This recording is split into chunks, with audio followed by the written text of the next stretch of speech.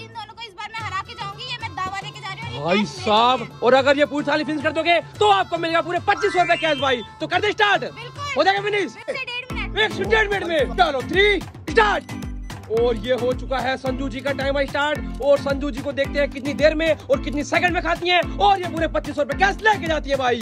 अब आगे इनका पिज्जा पूरा।